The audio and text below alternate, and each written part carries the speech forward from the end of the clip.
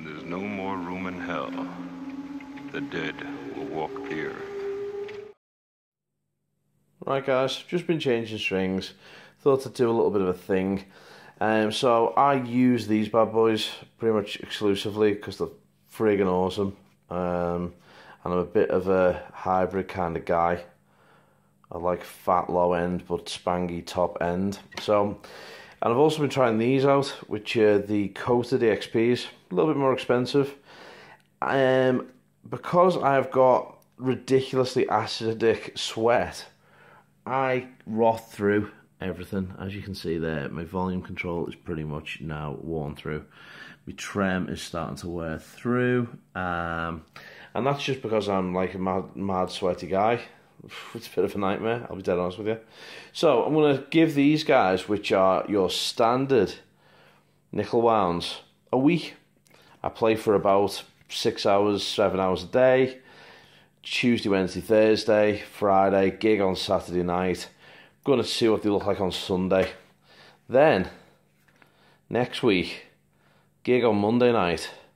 Tuesday, Wednesday, Thursday sessions, Friday, and then I'm going to see what they're like on Saturday. I'm going to try and give them exact same workout over the space of two weeks, and then I'm going to post these videos up and see what my findings are.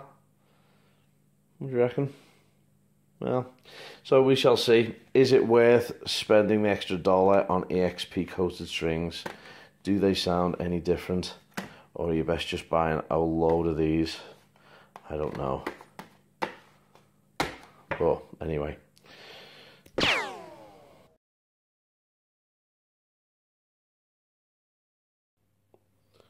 Right, so a week later, and these were our nickel wound.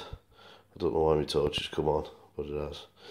Um, so these are the standard nickel wounds. Sorry for breathing like a pedo cockroach.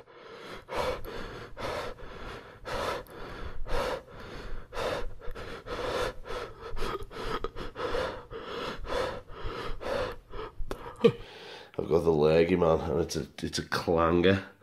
So as you can see, they're pretty much dead. The further on we go, you can see it's just like that. Just it ain't, it ain't no good. Ain't nobody got time for that. So these haven't been wiped down at the end of every session. I just thought that'd be better, just in case I forgot to wipe the other ones down or whatever to keep it consistent. I just haven't wiped them. I've wiped them down, but not wiped them down with any product. And as you can see, they're pretty much black. They still sound pretty good. They just look like crap. So that was those bad boys. A week within that week, that was a gig. Three, four days of teaching, and two weddings in one night. And they were quite sweaty weddings. Fun, but sweaty of about two hours, so set was about an hour each wedding. And then I'm now going to go for these bad boys, which are the EXPs, and see whether they last any longer. Now, this is not indicative of normal humans because I've got the worst sweat in the world. It's so acidic, as you can see, I'm melting through everything. Right, so that is now the EXPs rocking the NY steel. They're on there looking nice and plush, super clean, super spangly, nice and shiny. Um, acoustically, sound exactly the same. So um, yeah, no no tone differential at all really. And let's see how long these bad boys last for. Y'all.